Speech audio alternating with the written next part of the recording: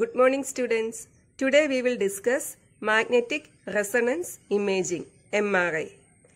MRI is a medical imaging technique used for making detailed images of body tissues such as muscle, brain, etc.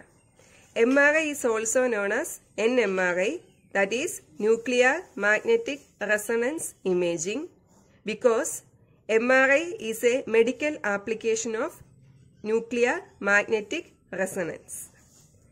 Next we will discuss the principle of operation of MRI.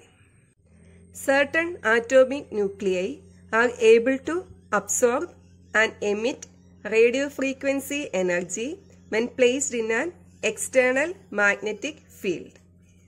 In clinical MRI, hydrogen atoms are commonly used because these atoms are naturally abundant in humans, particularly in water and fat.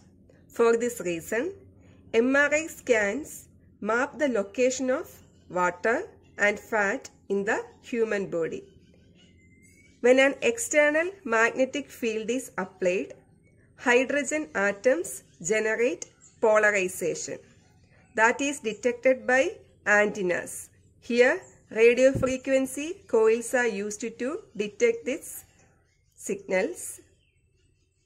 These are used for making detailed images of the body tissues. The main components of an MRI scanner are magnet, gradient coil, radio frequency coil and a computer.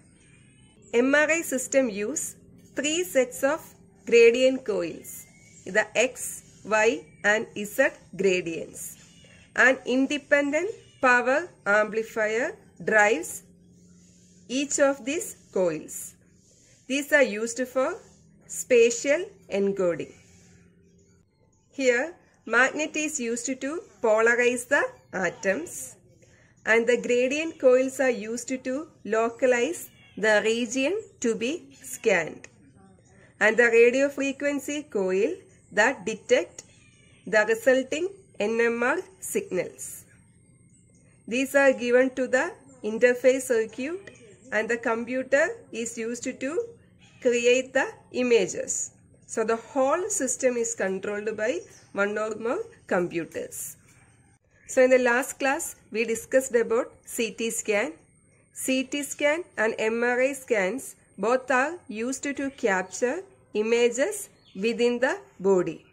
The biggest difference is that MRIs use radio waves and the CT scans use X-rays.